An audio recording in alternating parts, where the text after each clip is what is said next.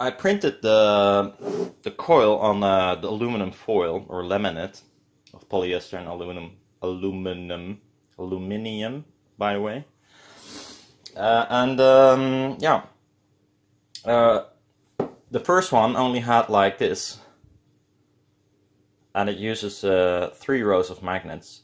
Now the thing is of course nice is that if I want to double the amount of coil I only have to add two rows so I can use this one of the side rows. So actually this has 15 magnets instead of 9 but it is twice as big. So I didn't need 18 magnets. Uh, I hope it works. I really do. Would be nice to uh, the, the previous one went down to 1k I think. Some sort of 1 1.2 usable. Of course you have to cross a little bit higher than that but uh, yeah so uh, I wonder I made my uh, beverage here It is copper sulfate, salt, table salt, and something I don't remember, but it, it, it will stop forming brown crop. Although it will still a little bit, but you can clean it again. So I've used this five times now, so that's a record for me. Usually once I make a batch, use it one time, then it was screwed. Now I can reuse it. There's floating some uh, wax in there because I used this pen for something else. So uh, I will sieve it out later on. Doesn't really matter for now, but let's jump dump it in. I hope it's still warm enough because it was too hot and then I cooled it down. And now it's um, too cold apparently. It is warming up. Okay, so I think it's hot enough. I'll, uh, I don't know, just, uh, you know, it, it is gonna be hotter than it was, so. Yes, it is hot. But not hot enough to melt the wax off, which is good. Just gonna fiddle it around. Can we focus there? So this increases the speed considerably. This is going fast. I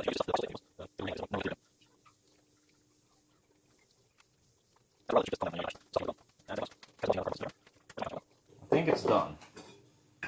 You can see it's not sizzling or not as hard as it was. I'm gonna grab this with my bare hands. Not a good choice, but...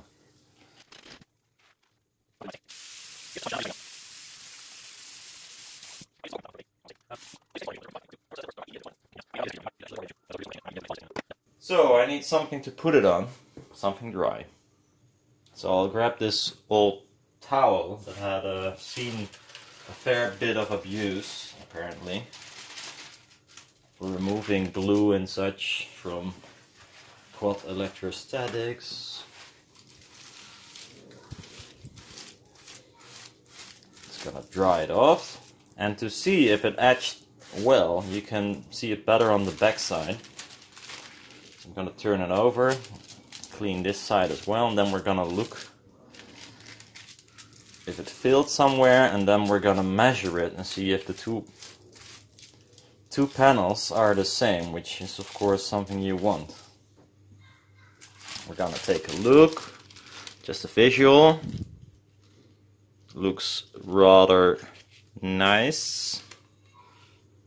No fuck-ups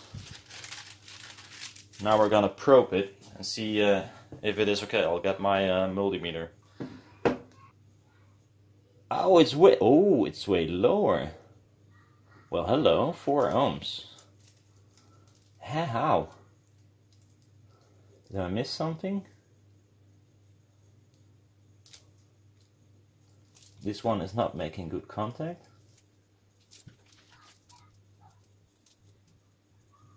Four point.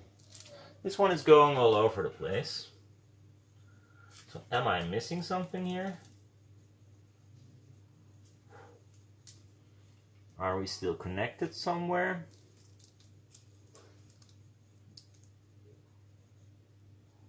Four point one. I think these points are a little bit too sharp. Looks like I'm more like poking a hole than just measuring it.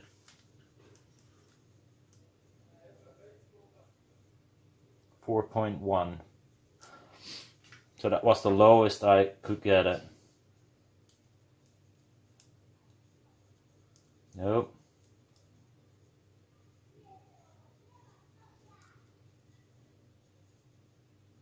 I think they are the same actually. Because I had a 4 point here. 4.1, 4. It, it's going all over the place, but uh, nothing is broke or just, you know, uh, shorted out because then it would look completely different. So they're both good and usable. Uh, and when I uh, solder the leads to it, then we'll measure it again. It's, it's a better, um, you, probably a more consistent result because this is, it's a hard surface and then the, a foil, very thin and then very sharp points. That might fuck up the reading. I had some metal laying around. It's a bit crooked, but uh, it fits so good enough for me. I, mean, uh, it doesn't really matter. Uh, so I use my uh, Beach Babe uh, spray. Just plain water. Doesn't have to be soaking wet, just a tiny bit. Uh, I'll show you what the plan was actually. So it's hard to see, but there's a hole, and here's a hole as well. If they line up, this looks about right. I did make a metal that fits in there, but it's too much of a hassle. But that looks like this, and this is actually how it's supposed to look. So the first magnet will be sitting on this, well, well there's where there's most metal instead of a hole. So that's correct. This is the correct way. so uh, I of course changed my program so uh, it doesn't fail. Never ever again unless I make a new design which I probably will because you never know. Okay so we need the glue. I use some uh, Construction-Tix top speed bloody blah professional bullshit. You could use uh, Gorilla Glue as well, but I think this stuff is uh, setting a little bit faster than that even. So we're just gonna put some glue on the edges here.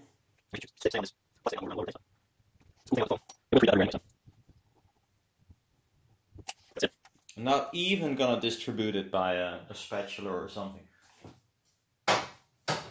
which would be a nice idea if you want to do it perfectly clean. So now we drop in the metal, line it up. Give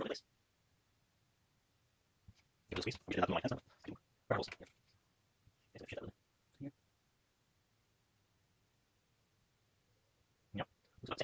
You can see the foam coming through all the holes and that's nice because now I'm gonna squish it but because the glue is uh, going through the holes, it will be uh, much stronger in the end. I'm gonna attach this uh, other uh, plastic. As you can see, I can scrape off the glue, which is cool.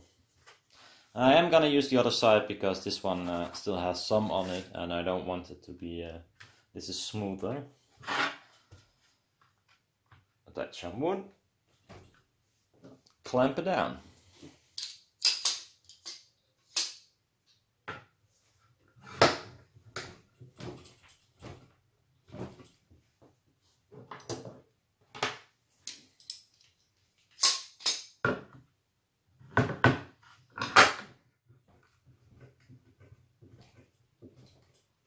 Now we're gonna wait and we're gonna try it again before I make a jig for the magnets because if I don't need to I'm I would I'd rather not do it because uh, I have no clue if this this whole stuff works anyway so. Another try.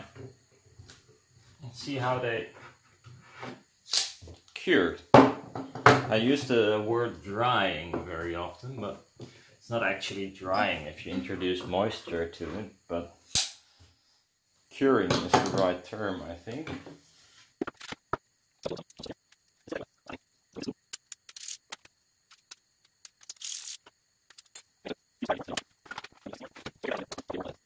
We get our magnets out again. push this in the against the panel, sort of. See if it sticks. It's gonna be the next one.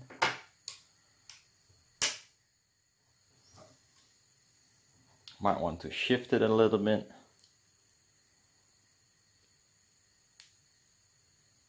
Towards the center.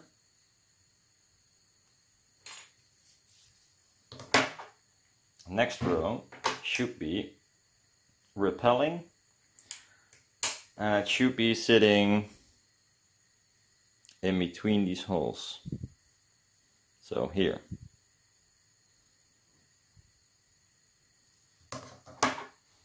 One more row, see if I can up to row more. Okay, yeah. Let's fix them after that. Actually, it leaves a little space this time, making wood. Okay, yeah, a tiny amount. So, let's go on. Uh, start here. It has to go on still. Oh, sorry.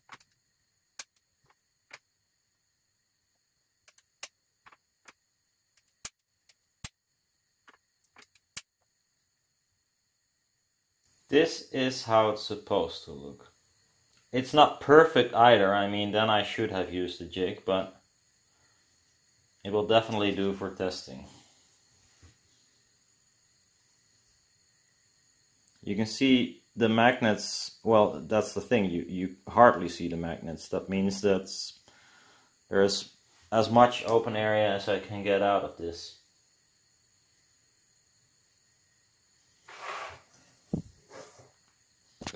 And I can uh, put the foil over it and see if it aligns. It should align. So the outer edge of the coil is just hovering above the edge of the magnet.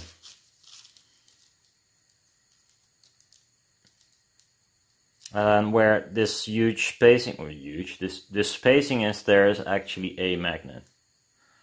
So this is this is gonna work. It's gonna sit like this in the end. As you can see, this was just by eyeballing the coil, but there is a line here and a line here, and the outline of the, the panel itself. So if I only align the panel itself on this etched thing, the coil uh, lines up nicely as well.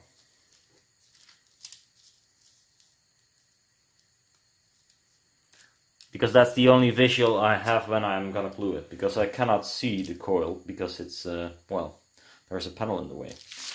So this is uh, how it's supposed to look.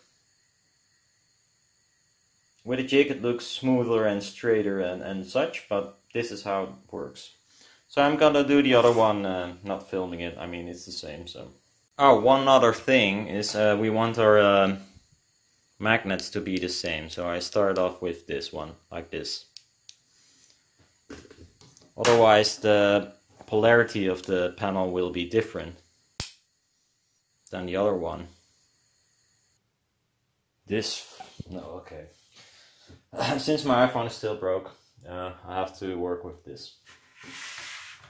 Not that the iPhone is so much better, but... Okay, so I got coffee, and why is it so dark? What the fuck is wrong with this thing? So I have to take a look to the uh, on the phone very often because it's just randomly focusing on stuff.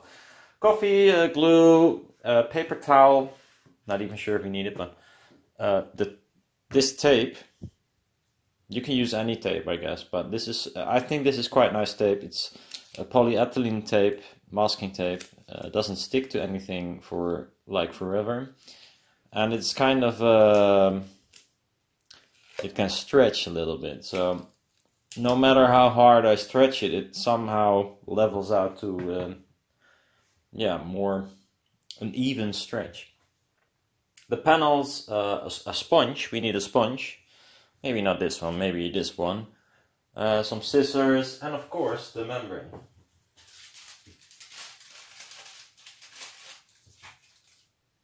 And we're gonna lay it down on this panel like this without the crap underneath it.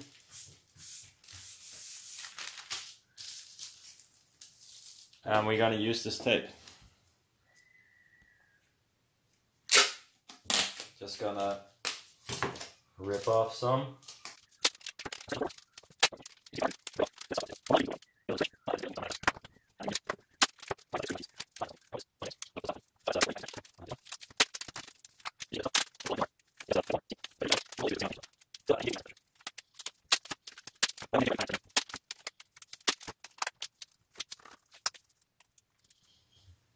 Think that's uh, stretched. Now we're off to the 30NF, 3M 30NF glue, the favorite.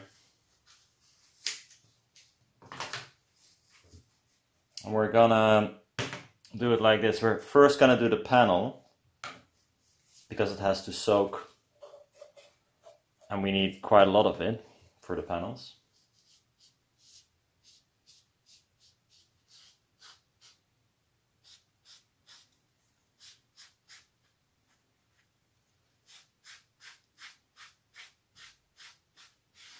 Try not to put it on the magnets or the membrane might stuck to it, which is annoying.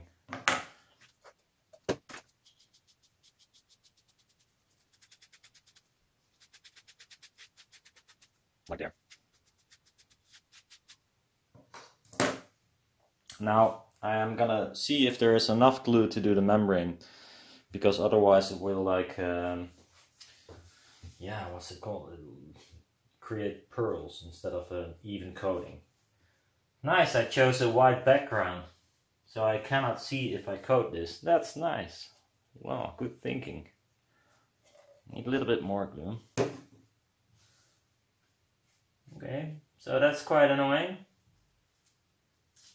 I'll uh, choose some different color material next time.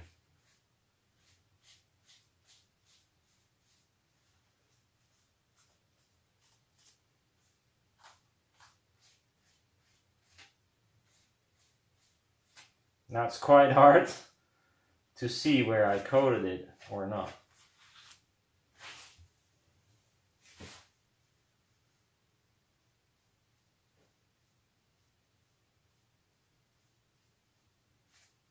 Well, I think I covered it all, although it's hardly uh, visible.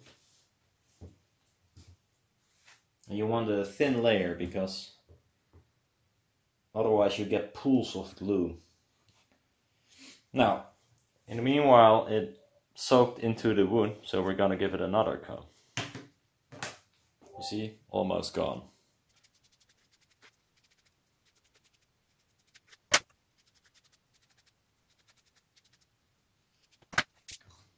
Now let's uh, wait while uh, I drink a cup of coffee.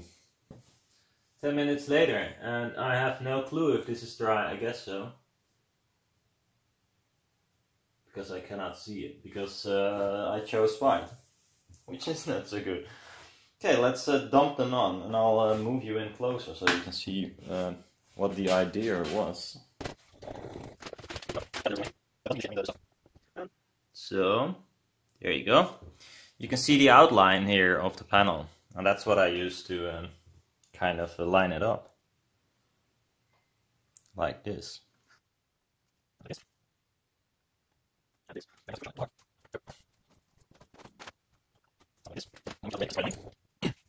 Got a knife. I think I broke off a new knife, so hopefully it is sharp. Ooh, I don't want to fuck up this material actually. Which is what I am doing now. Making all kinds of scratches.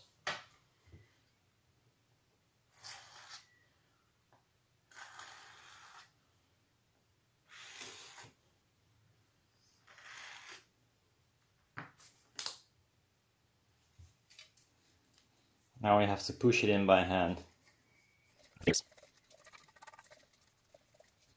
So everywhere where it didn't make perfect contact, it, uh, it is making it now.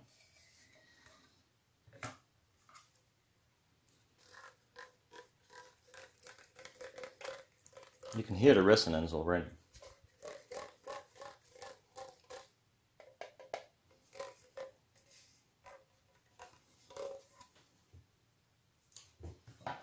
Move that aside.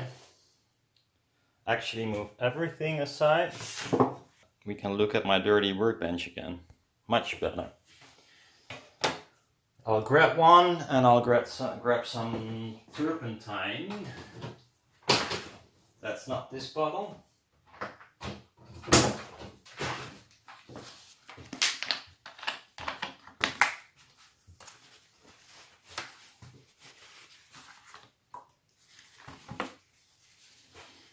Gonna remove the wax, hopefully.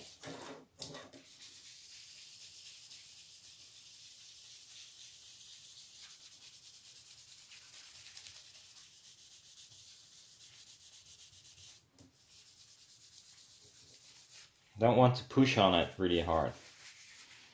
So just a gentle wipe.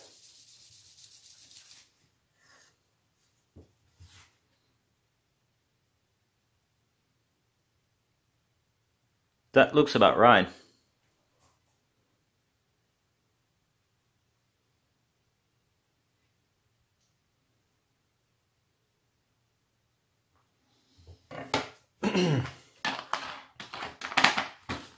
Let's uh, fire up the solder iron.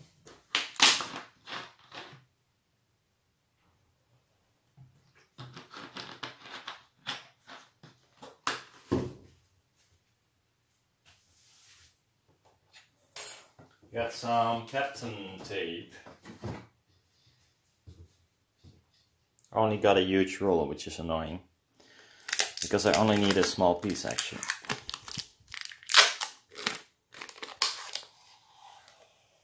Oh, Jesus.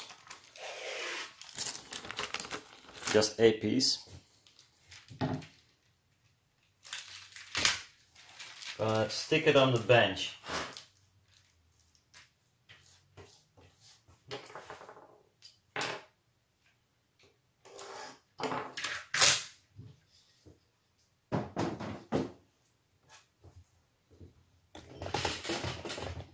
There. Now I'm gonna slice a few pieces off and one small piece. Oh, that was actually for the old one. I don't need a small piece this time.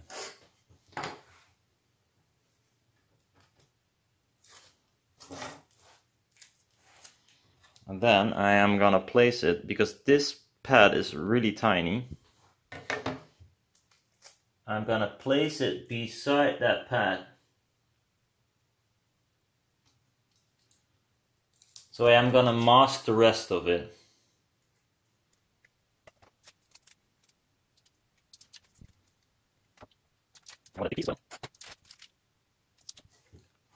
Like this. You can see I left this piece uh, clear. I'm gonna fold it over. I'm gonna cut off the excess amount.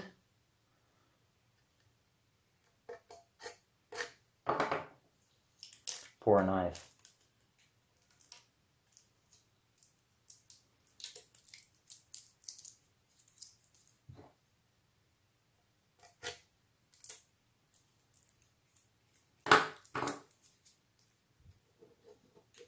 So it looks like this on this side like this on this side. We get our uh, eBay uh, flux for aluminum.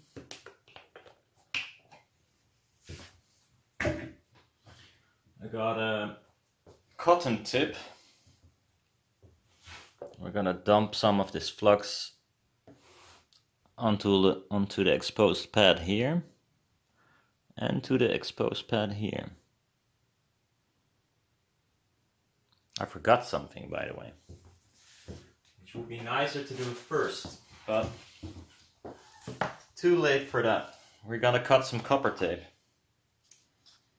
I think about this length. And we're gonna cut it in two pieces. Get the backing off. Hopefully.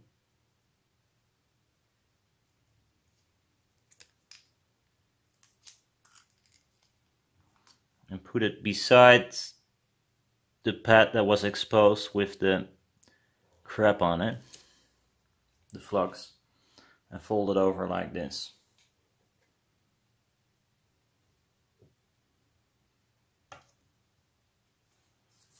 We do the same with the other pad.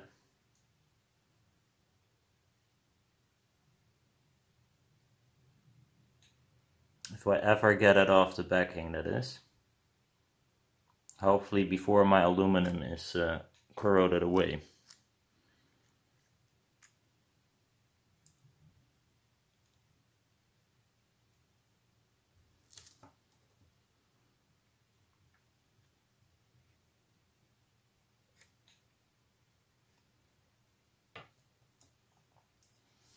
There you go. I hope my iron is clean. as clean as it can be because the tip is gone for a long time. I got some really uh, thin solder that I like to use for this. I'm gonna melt some on the on the iron first. It's not the way you solder, I know. But this is the way I'm gonna use it with this kind of weird flux. Because it's the only way it, creates a nice um, bond.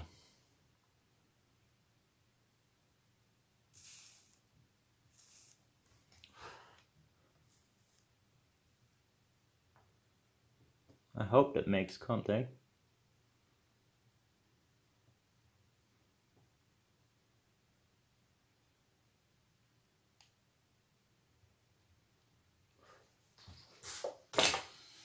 Let's see if that works.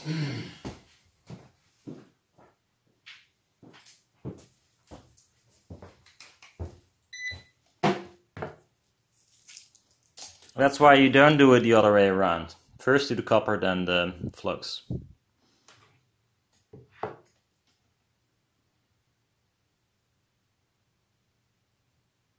Three point eight, three point nine. So you can see what the bad connection did when measuring it. It is lower than it than it showed, and uh, we only know if they are the same if I measure the other one. So, uh, but first I am really wondering what this panel does. So I am gonna test it without finishing the other one. Let's see what it does in the measurement. And the results are in. So, but you can see it, it just goes lower, not much, it's not much louder in the low end. It is louder in the top end, something I didn't wish for because I had enough juice there already. But uh, yeah, making the membrane bigger also um, makes this louder if you play it full range. And especially if you're not gonna make it really big. Which I didn't, of course. But we got some more uh, leverage or headroom to play with for crossover. Still, these 12 inch uh, MHB woofers, yeah, they go, go up to 3 4K, I think. 3K, I believe. So it is mm, still a little bit hard to cross over properly. Uh, the 8 inch MHP woofers would be nicer. They go to 4, 4.5K. Gives you, again, a little bit more headroom for playing with the uh, crossover. But yeah, still. Uh, this is a measurement, I think, from a little bit further away. Yeah, well, it looks the same, of course. Uh, the mid-range falls off a little bit more even. But, yeah. That's about it for the thingies. They um, do sound rather pleasing, to be honest.